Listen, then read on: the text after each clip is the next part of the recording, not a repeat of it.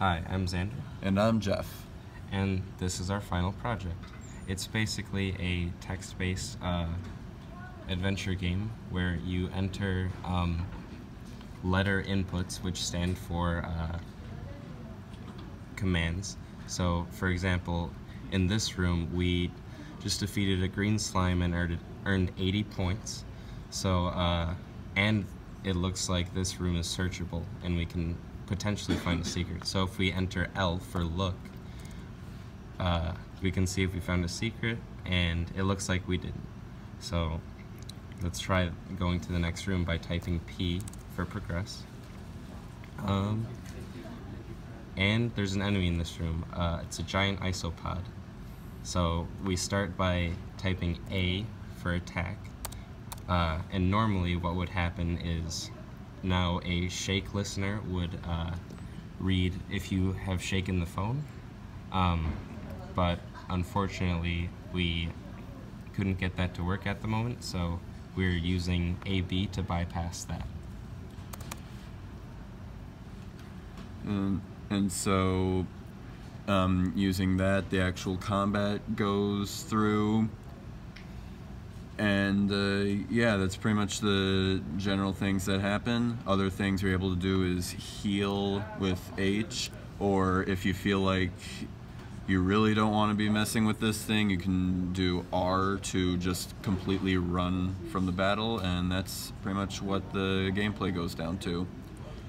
Yeah. So, looking at the code, um, we have the char- the character class which is which player and enemy are extensions of, and this pretty much dictates what stats and um, other important things that the player character and uh, different enemies uh, are going to need.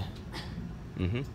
And uh, in the Shake class, that's basically where we've implemented all the methods uh, necessary to use a sensor listener to um, track whether the force on the phone, uh, the y component of the force on the phone, uh, is greater than just that of gravity, which is a really interesting way that the phone tracks uh, how it's being moved.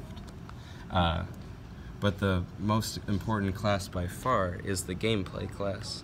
And most of these are just, uh, they store relatively minor amounts of information or they just contain buttons such as how to play, which uh, takes you to uh, the how to play to uh, UI.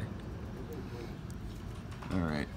So within gameplay, a lot of different things end up being stored, such yep. as the different strings that you'll that you'd see if you played through the game, um, different booleans and and that store that store um, like different stats you'd have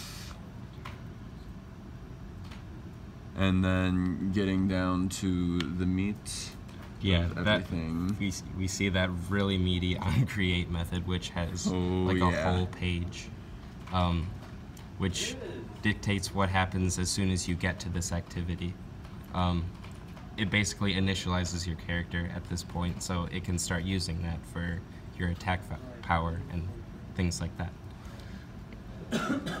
um, so for every time you click the enter button on the gameplay screen, uh, the change output method runs, uh, which calls my battle status and enemy battle status if you are in a battle, which is that is battling boolean.